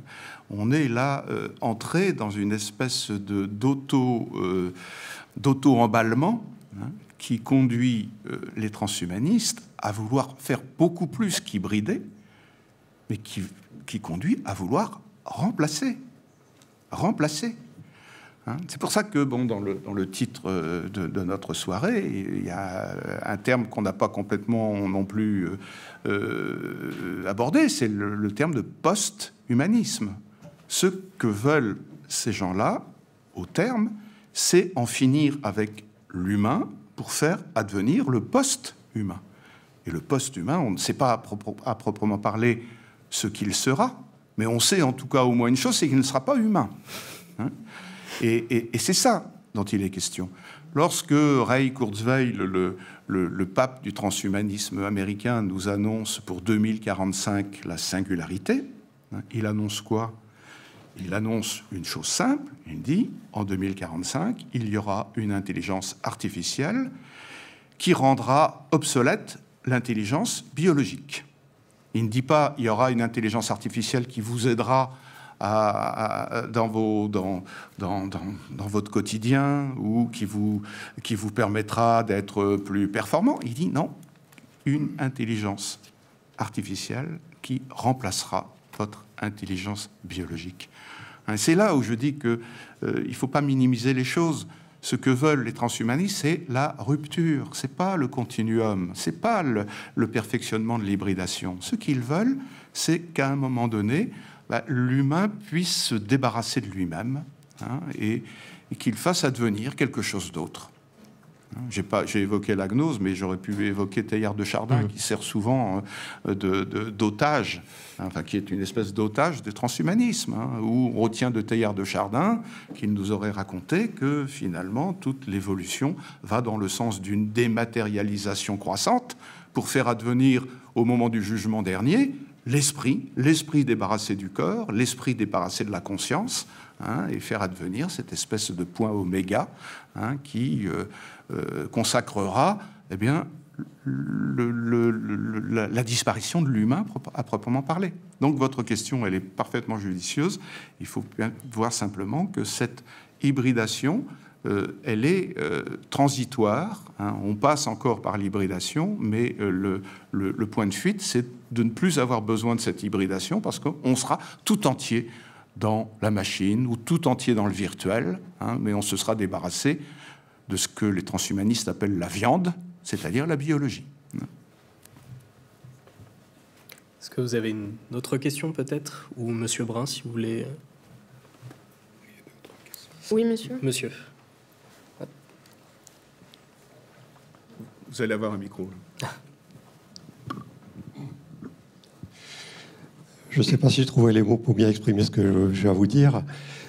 Euh, est-ce que dans le jugement qu'on porte sur euh, l'état de la science et ce que certaines personnes, le transhumanisme, envisagent, qui peuvent être monstrueuses, en le regardant en instantané, est-ce que on n'oublie pas la capacité des humains à, évoluer en fonction des techniques?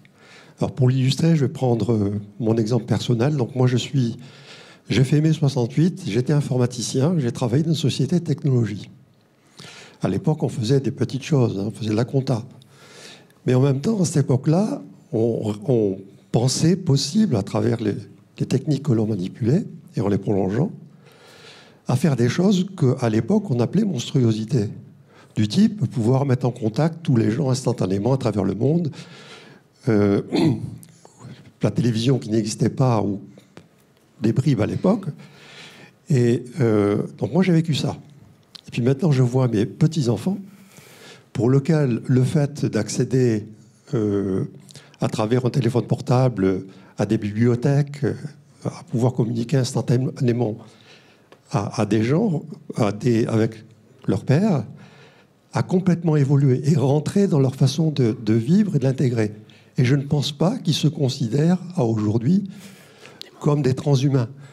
Et, ma question, c'est de dire euh, cette capacité de l'homme et de ses sociétés à évoluer, est-ce qu'on ne doit pas la prendre en considération avant de dire on imagine euh, des monstruosités?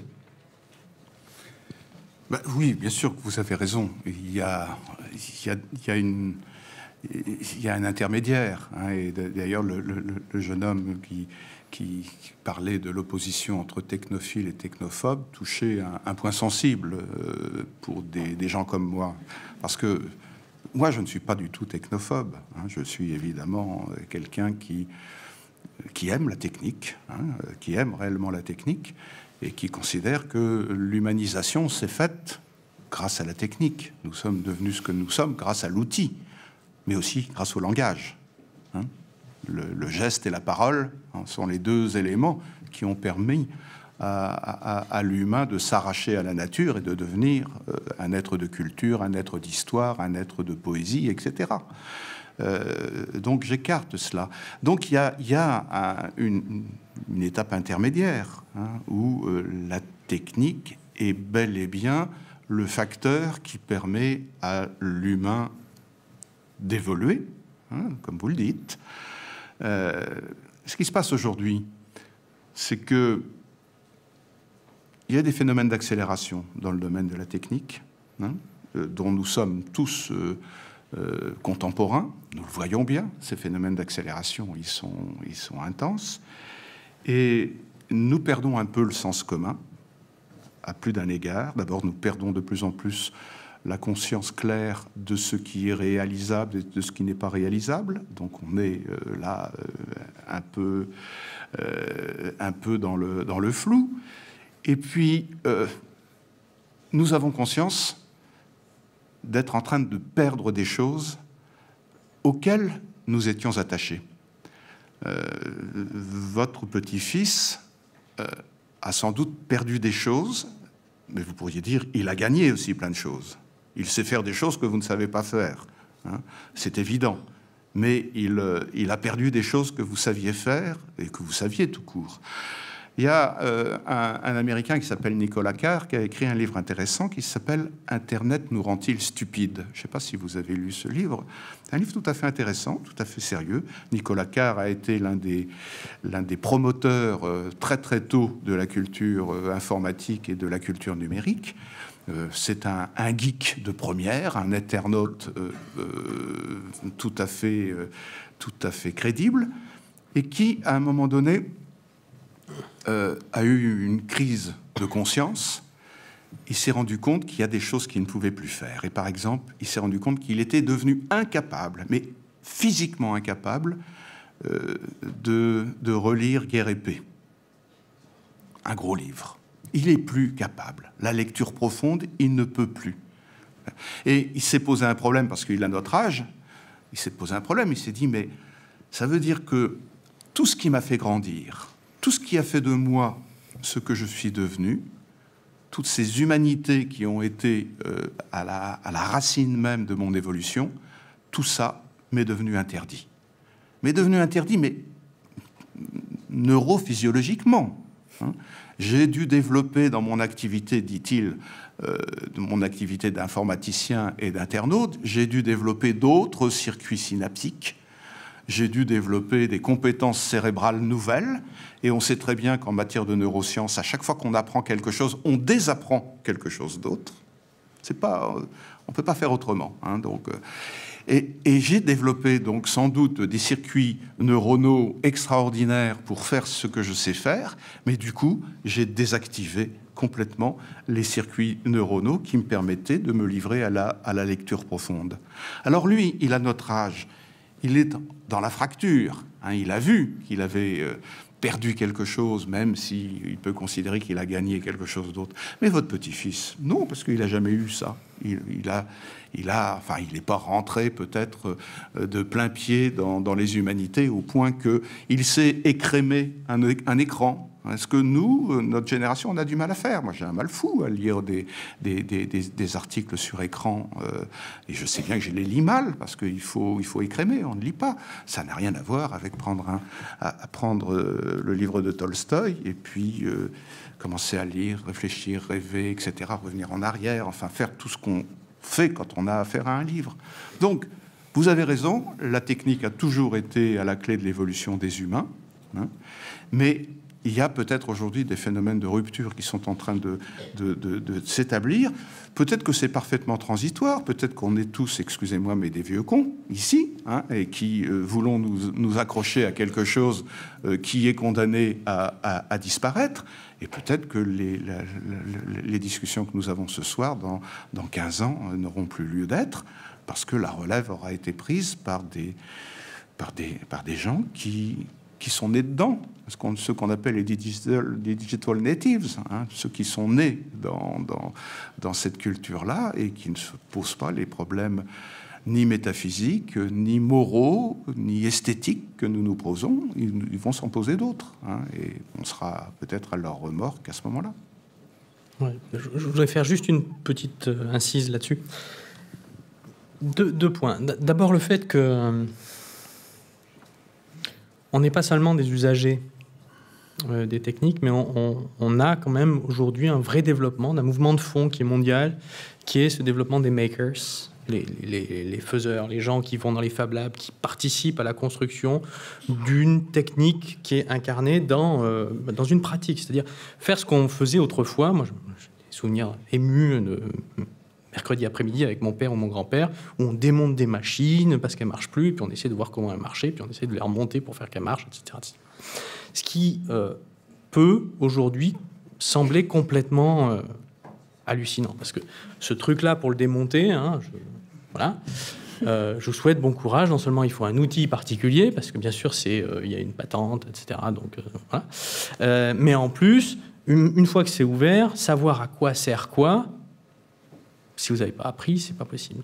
Heureusement, effectivement, on a en même temps l'outil Internet qui vient nous proposer des, euh, euh, on appelle ça des tutoriels, des vidéos, etc. Et des communautés qui se créent autour de ces objets-là. Et donc, on est en train de récupérer petit à petit quelque chose qui, effectivement, a peu à peu, euh, c'était, dissous.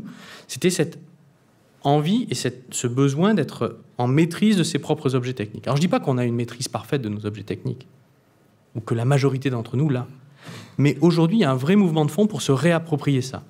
C'est-à-dire que mon grand-père, qui avait une formation d'ingénieur du génie rural euh, classique, a été capable au début des années 80 de démonter sa, vieille télévision euh, couleur euh, à écran cathodique et de euh, changer les potentiomètres et certains, certains différents composants pour la remettre en état. Aujourd'hui, je vous mets au défi de remettre en état votre écran plasma. C'est vraiment très difficile.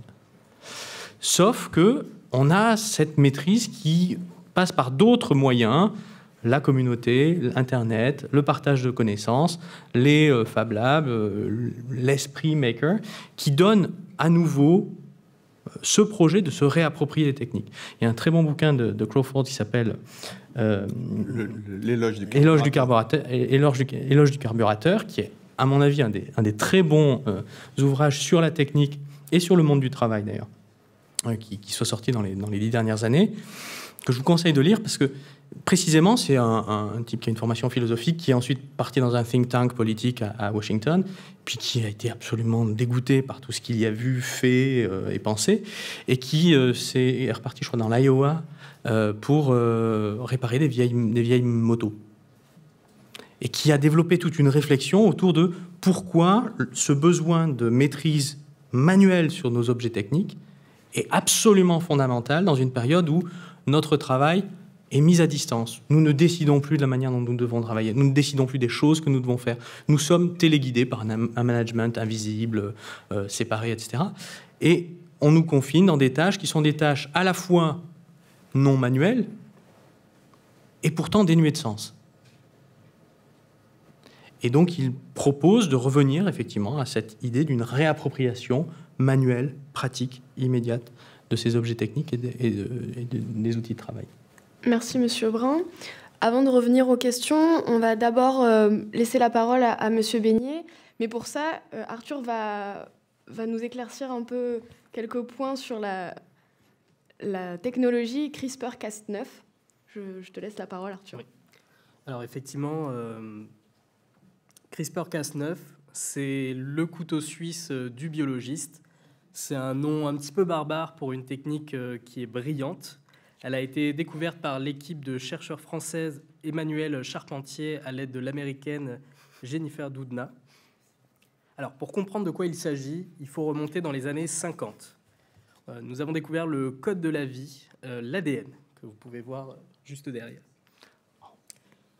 C'est une molécule complexe qui gère la croissance, le développement, les fonctions et la reproduction de toute chose vivante. L'information elle se trouve dans la structure de la molécule, juste ici. Quatre éléments sont répartis par paire, formant un code transportant des instructions, ATCG. Si vous modifiez l'enchaînement de ces instructions, vous changez votre être. C'est aussi simple que ça.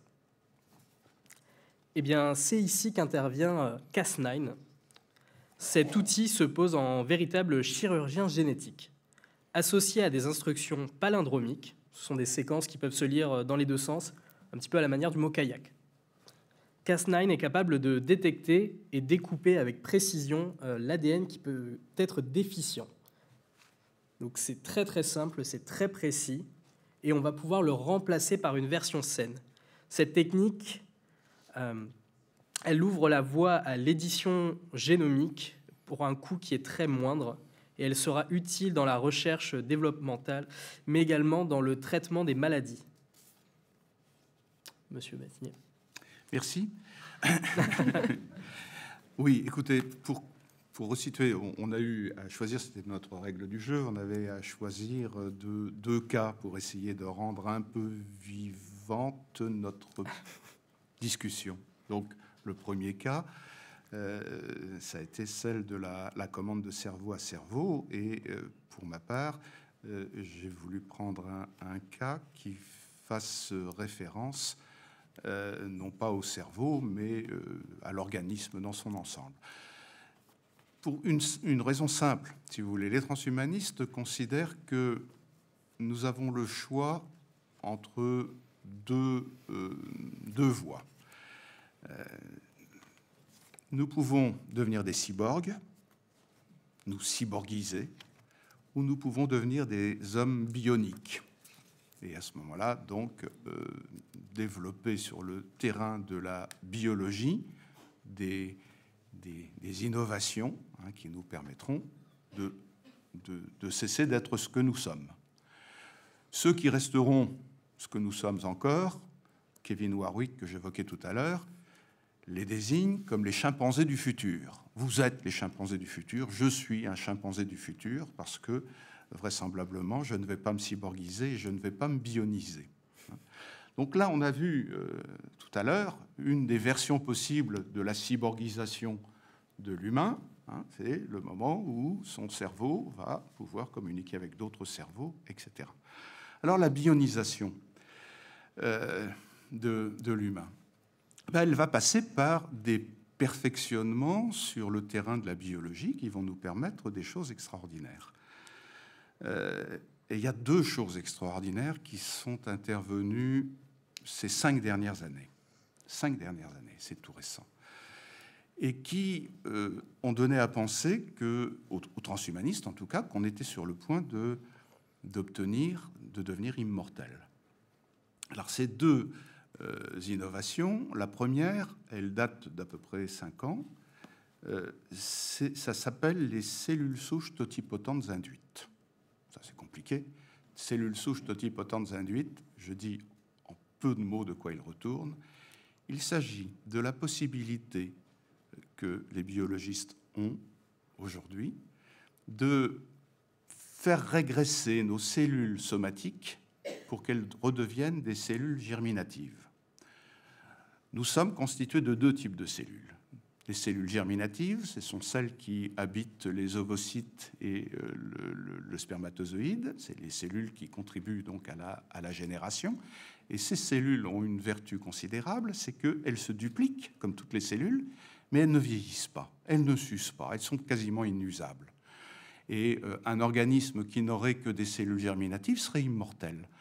Euh, les méduses, euh, les tortues, etc., elles ont euh, une part de cellules germinatives particulièrement importante, et donc c'est pour ça qu'elles ont une longévité considérable. Mais chez nous, humains, et chez la plupart des mammifères d'ailleurs, les cellules germinatives, elles servent à, la, gestation, hein, au point de départ, mais elles sont dans, dans les embryons, c'est pour ça qu'elles sont cellules souches embryonnaires, elles sont dans l'embryon. Mais ce qui se passe, c'est que quand l'embryon se développe, eh il conduit les cellules germinatives à se spécialiser. Elles deviennent cellules de foie, elles deviennent cellules de poumon, elles deviennent cellules de peau, elles deviennent cellules de cœur, etc. Elles se spécialisent, elles deviennent cellules somatiques. Et les cellules somatiques, malheureusement, elles se dupliquent, mais elles s'usent elles s'usent. Il y a, quelque chose qu'on appelle les télomères qui, qui marque bien euh, ce phénomène d'usure des cellules. Elles vieillissent et elles finissent par mourir. Hein, et nous mourrons avec elles, et nous mourrons à cause d'elles. Hein. Et alors, ce qu'on a découvert, ben, c'est le procédé qui permet de faire régresser une cellule somatique à l'état de cellule germinative. Et vous vous rendez compte alors de, ce que c'est. Hein. Donc, votre foie ne marche plus. Hein. On vous annonce que vous allez sans doute mourir parce que le, foie, bon, à moins que vous ayez une greffe peut-être, mais quand vous avez une greffe de foie, il y a des rejets. Hein. Vous êtes toujours très très menacé puisque le, foie vient de quelqu'un d'autre, etc. Dans un avenir proche, on vous annoncera votre foie est fichu. Hein. Ce qu'on fera, on prélèvera une cellule somatique, par exemple de peau, on la mettra en culture pour qu'elle devienne cellule germinative et on a déjà le procédé euh, qui permettra que vous spécialisez, vous puissiez spécialiser cette cellule-là et, on la spécialisera pour qu'elle produise un foie et ce foie, bah, ce sera votre foie puisqu'il viendra de vos propres cellules. On pourra remplacer votre foie malade par ce nouveau foie et vous pourrez repartir, j'allais dire comme en 14, mais vous, vous pourrez donc euh, retrouver hein, l'état de santé. Donc vous vous imaginez les, fantasmes qui se développent autour de ça. On va pouvoir au fur et à mesure changer vos pièces, hein, c'est-à-dire vos organes, hein, pour vous donner quelque chose comme une immortalité. Alors ça, ce sont les cellules souches, elles sont cellules souches puisqu'elles sont germinatives, totipotentes parce qu'elles peuvent devenir n'importe quoi, hein, totipotentes, induites parce que c'est une opération euh, technique qui l'a induit, qui le permet. Alors ça, ça a fait évidemment beaucoup couler d'encre chez les transhumanistes. On s'est dit, voilà, il y a, y a la voie là ouverte pour l'immortalité. Et puis on a découvert, alors il y a très peu de temps, il y a deux ans je crois, Hein, c'est Emmanuel Charpentier et puis euh, une Californienne euh, qui s'appelle Dubna. Euh, Jennifer Dubna. c'est ça. elles ont découvert là quelque chose d'extraordinaire qu'on appelle quelquefois, mais Arthur le disait, eh bien, quelque chose comme un ciseau moléculaire. Un ciseau moléculaire, c'est un dispositif qui permet de, de couper, de, de couper le, le, génome, hein, là où on veut, euh, on a besoin de le couper. Et ce dispositif permet de, remplacer euh, la, coupe par une autre. Autrement dit, on sait décrypter nos génomes maintenant, vous le savez. On peut décrypter le génome de n'importe quel individu. Euh, dans le génome, on est de plus en plus capable d'identifier les trucs qui ne vont pas. Hein, les, gènes déficients. Hein, on est capable de, rapporter un dysfonctionnement à un gène, une maladie euh, comme la maladie d'Huntington par exemple, hein, ou, diabète, enfin des maladies euh, très très invalidantes. On, est de plus en plus capable d'identifier le gène responsable de cela. Eh bien, imaginez qu'avec euh, le ciseau moléculaire que j'évoque, si dans votre génome on repère le gène en question, on va aller le supprimer, on va le, couper, hein. on va rabouter les choses et on va réaliser quelque chose comme une thérapie génique. Hein. Donc c'est déjà assez extraordinaire. On va renouer avec la perspective de soigner au niveau du génome. Mais pourquoi pas faire mieux? Et euh, les deux inventeuses de, ce CRISPR-Cas9, qu'on a appelé comme cela, euh, elles, voient dans leur découverte la possibilité bah, de supprimer certaines maladies, comme le paludisme, enfin, etc., supprimer des maladies qui sont invalidantes. Mais il y a quelques transhumanistes qui se disent on doit faire mieux, on doit faire mieux. Et ces transhumanistes, euh, ils sont surtout chinois, hein, et ils se sont emparés de ce dispositif, déjà pour se dire, mais après tout, si on pouvait, au niveau de l'embryon, ou mieux encore, si on pouvait, au niveau de la gamète, de l'ovocyte ou du, spermatozoïde, si on pouvait identifier euh, les, gènes euh, susceptibles d'être invalidants, bah, on pourrait à ce moment-là, dès ce, niveau-là, euh, supprimer ces gènes. Et autrement dit, on ferait naître des, individus qui, n'auraient pas ce gène. Ça pourrait être très bien. Il y en a d'autres qui se sont dit, mais si on peut ôter un gène, on doit pouvoir aussi en ajouter. Hein. Et là, c'est beaucoup plus intéressant pour un transhumaniste. Alors les Chinois, ils se sont dit, bah tiens, il y, a des, il y a des gens qui sont plus intelligents que d'autres. Il y a des gens qui ont 160 de QI. Si on pouvait repérer, repérer dans leurs gènes les gènes responsables de leur intelligence extraordinaire, ça serait très bien. On ne leur enlèverait pas le gène à ces gens-là, bien sûr, mais on pourrait le dupliquer, faire une photocopie. Hein. on va faire un copier-coller. Hein. on copie le gène, hein, et puis on va aller le coller bah, dans le, génome euh, d'un être à naître, d'un être qui n'est pas encore né, mais, et qui développera par conséquent cette intelligence-là.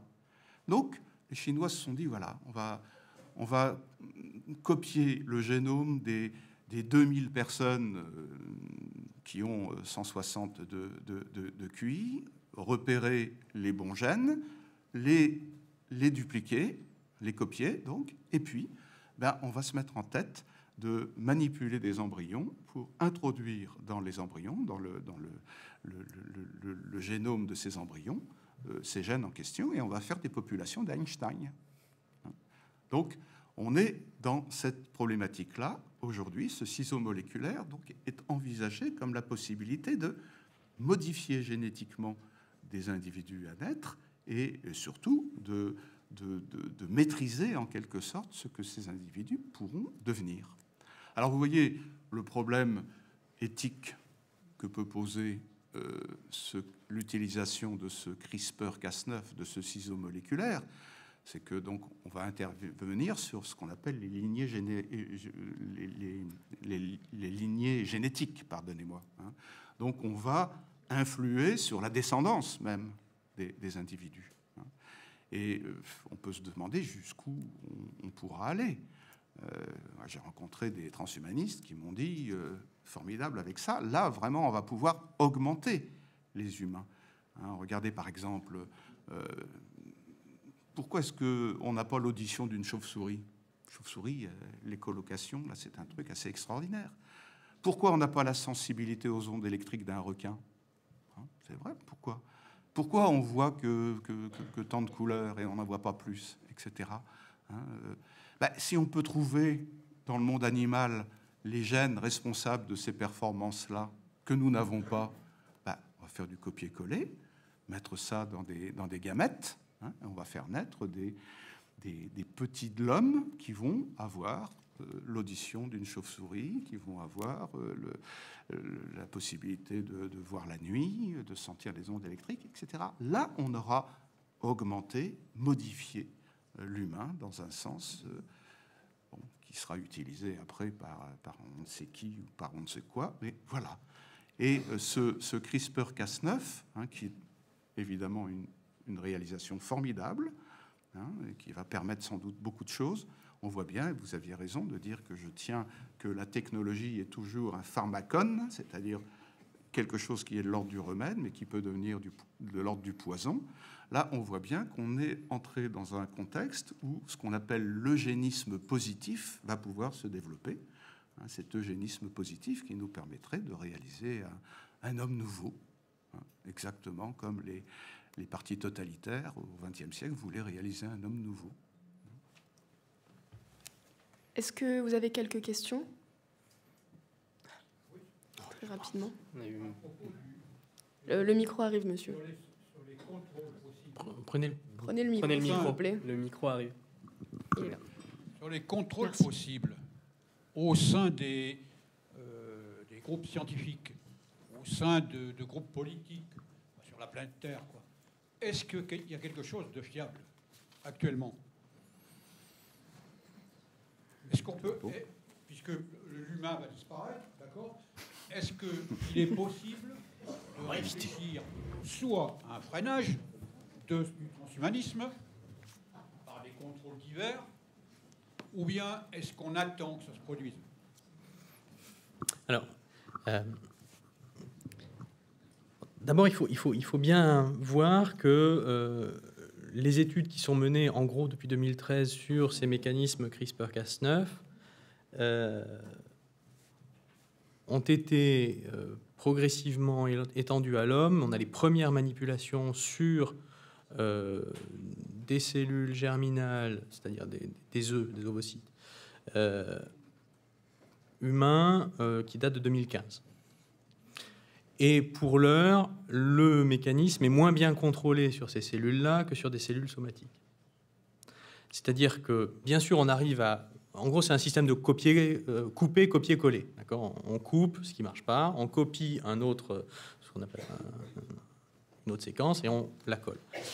Le problème, c'est que très souvent, et ça, c'est le cas déjà naturellement, quand il y a de la duplication, euh, bah, il y a des erreurs. Euh, c'est ce qui fait qu'on a des mutations géniques et qui ne sont pas prévisibles, etc., Et là, en l'occurrence, il y a plein de choses qui sont introduites et qui fait qu'on ne maîtrise pas du tout, pour l'instant, cette technique-là sur, euh, sur les lignées.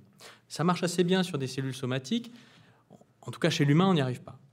Ils ont tenté sur un certain nombre de souches animales, notamment il y a des expérimentations qui sont très poussées sur le moustique, de telle sorte qu'on évite. Euh, mais oui, mais c'est crucial du point de vue de la santé publique, là, puisque ça, concerne la question du palu et de la malaria. Hein. La malaria, c'est le premier tueur mondial à l'heure actuelle. Donc vous imaginez que si on arrive à faire une souche de moustique qui est susceptible de transmettre et surtout de remplacer la souche naturelle de moustique, mais qui ne soit plus porteuse de malaria, ça serait fantastique. C'est-à-dire, c'est des millions de morts et de, qui, seraient, qui évités. C'est énorme. Alors, la question est est-ce que c'est souhaitable? Est-ce que cette question du pharmacone qui a été évoquée tout à l'heure suffit à dire bah, continuons la recherche? Ce qui est intéressant, c'est que Jennifer Doudna, quand elle a, quand elle a présenté ses, ses, premiers travaux, a dit attention, là, il y a peut-être matière à poser un moratoire d'entrée de jeu sur la question de l'expérimentation humaine. Et ça a été fait.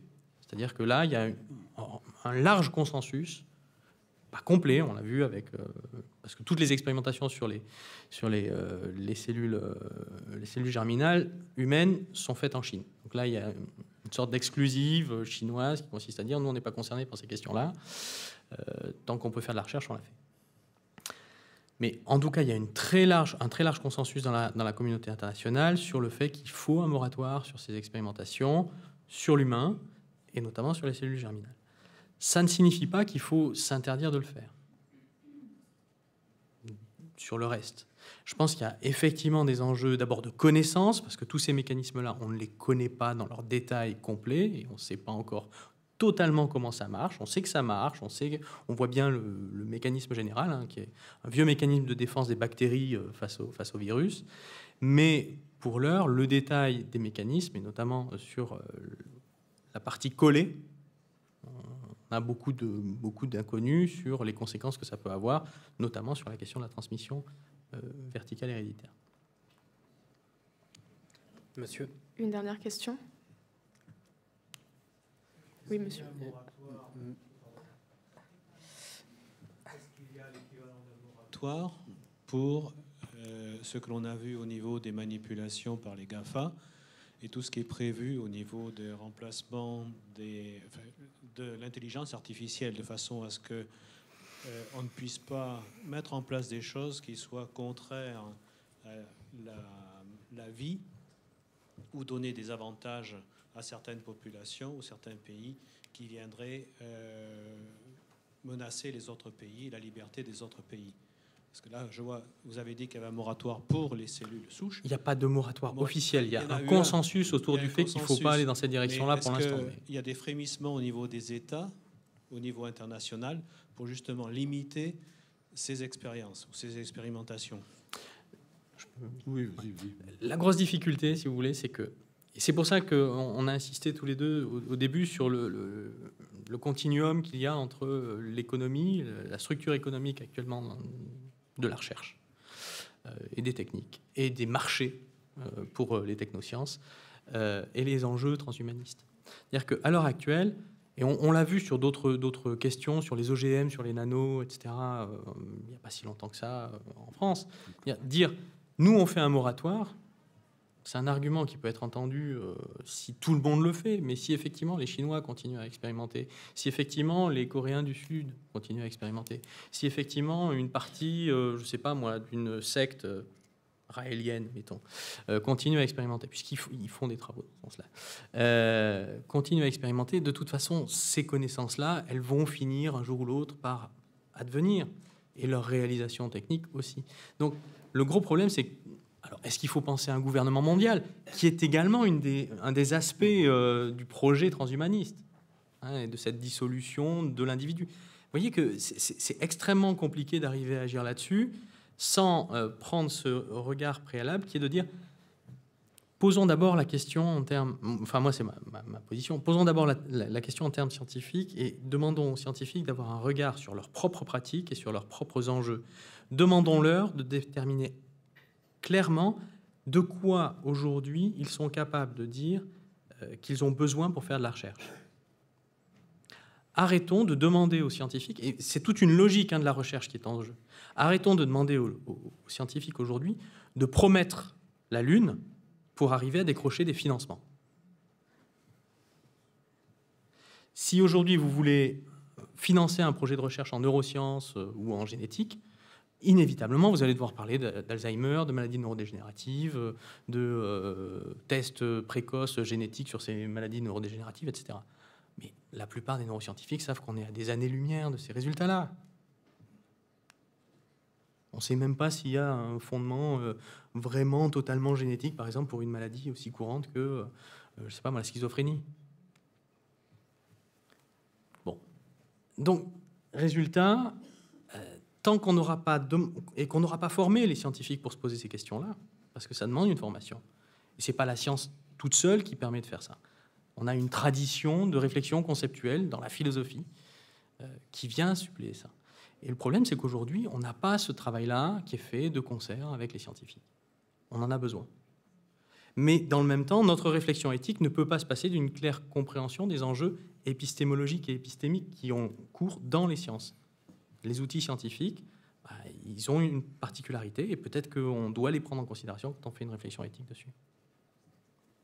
Une dernière question au premier rang, monsieur. Oui, donc je, vous remercie. Euh, je vais essayer d'aller vite hein, parce que je crois qu'on est, on est pressé.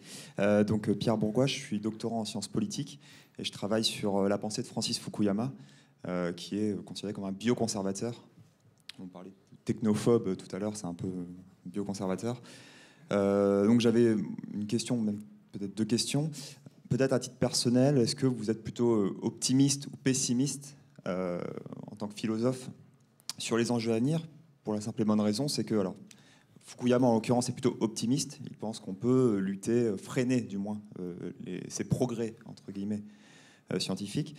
Euh, tout simplement parce que dans une société où aujourd'hui le culte de la, de la performance, de, de la perfection est à son apogée, je ne sais pas comment on pourra freiner ça. Est-ce que vous pensez que dans cette société donc, de consommation, de culte de la perfection, on peut freiner et même peut-être faire reculer ses ambitions euh, technophiles, euh, transhumanistes. Euh, et si c'est le cas, où est-ce qu'on met, donc c'est la deuxième question, où est-ce qu'on met le curseur Puisque, à quel moment sommes-nous des transhumains? Si aujourd'hui on montre notre société à des personnes vivant au Moyen Âge, ils diraient, enfin, ils seraient très impressionnés de voir jusqu'où on a repoussé les limites de la nature humaine. est-ce qu'aujourd'hui, quelqu'un qui a un cœur artificiel est un transhumain? Voilà, jusqu'où on met, et c'est pour ça que moi je ne suis pas philosophe, donc je vous pose la question, où est-ce qu'on met la, frontière entre l'humain, le transhumain le post-humain?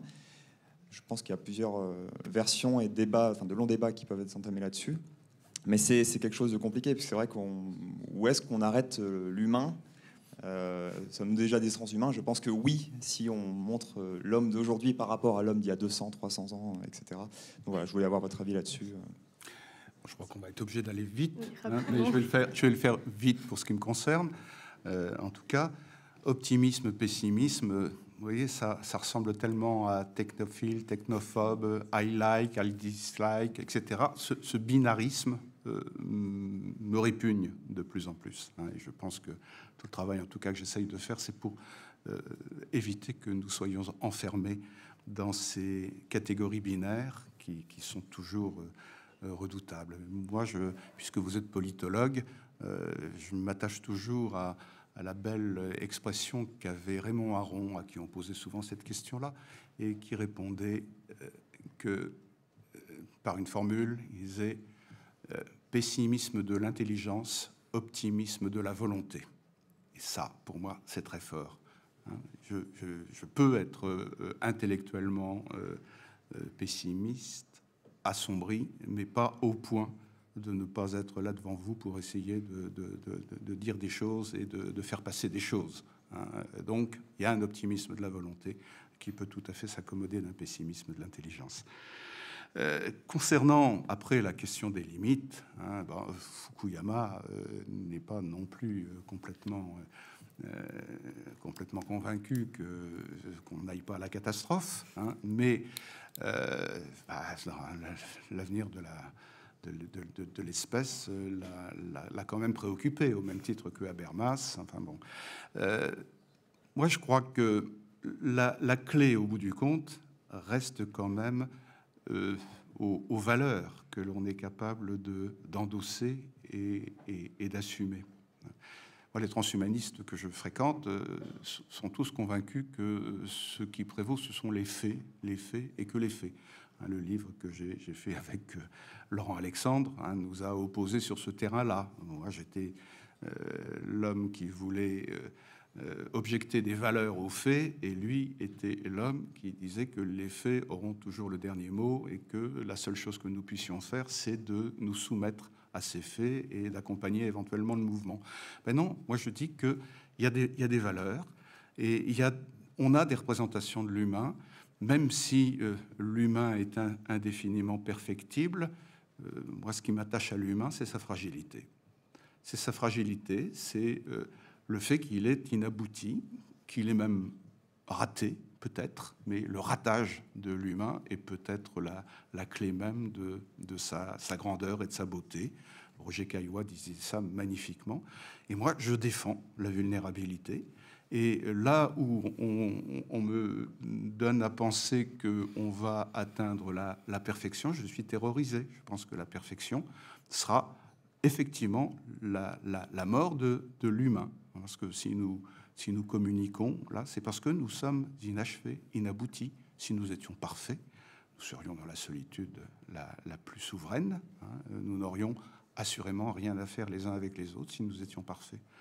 Donc, cette clé qui, qui, me sert, moi, de repère, une éthique de la vulnérabilité, bah, c'est ça qui, qui, accompagne mon, combat, ou en tout cas mon, analyse de, de, la situation contemporaine qui, me paraît euh, effectivement manquer de, repères, manquer d'intelligence euh, au sens fort du terme.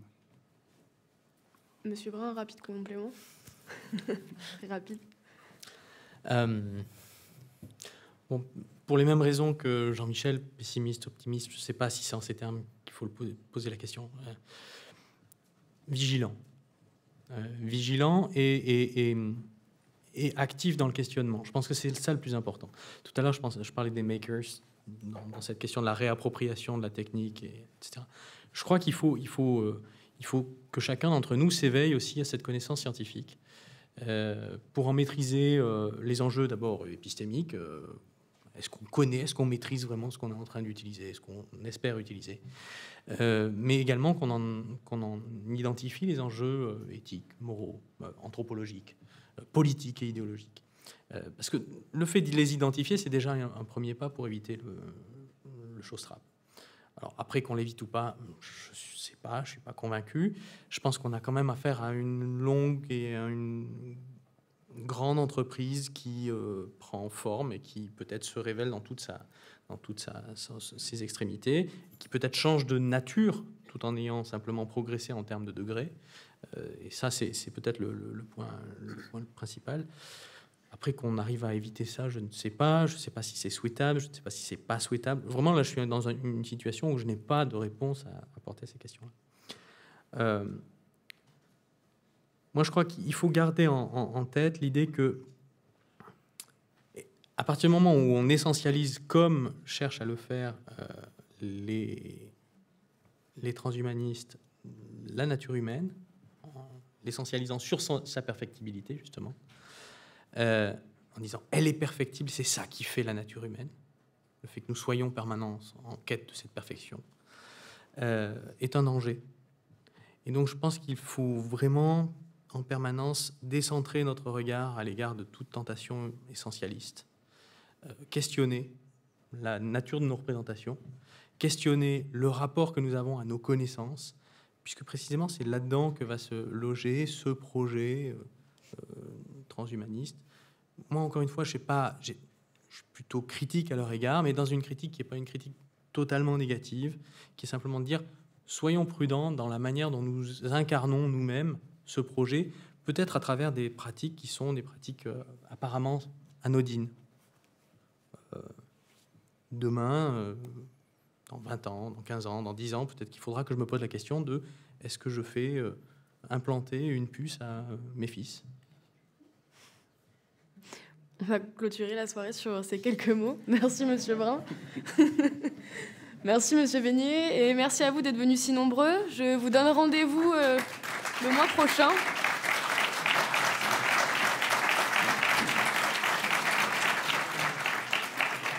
Merci. Je vous donne rendez-vous le mois prochain, le 4 avril plus précisément, pour euh, clôturer ce cycle de conférences. Merci à tous.